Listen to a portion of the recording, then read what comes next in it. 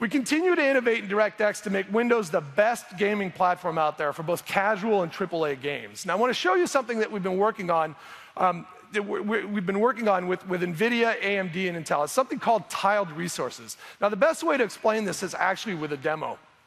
So, what you're seeing right now is a model of the planet Mars.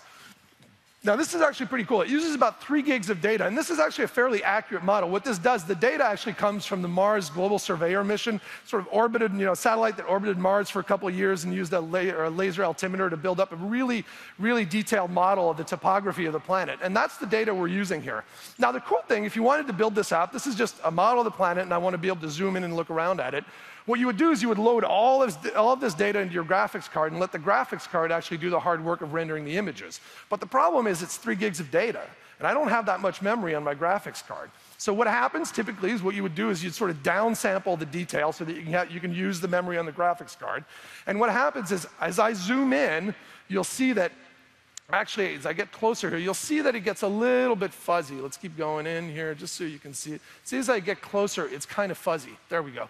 So now, this is where tiled resources help. So, tiled resources give you a programmable hardware page table for graphics memory. So, what this is going to do is it's basically dynamically swapping the parts of the, the parts of the data I need to into my graphics card to render the scene that I'm actually looking at. So, let's flip that on and you'll see the difference here. Look at that. Now look at the difference in detail here. And here the cool thing is, this is actually, we made this demo use, restricted it to only using 16 megs of memory on that graphics card. Now, it's pretty cool, but obviously the motivation for doing this, for doing something like this, is to actually let you make games with really unprecedented amounts of detail. So let's have a look at another demo here.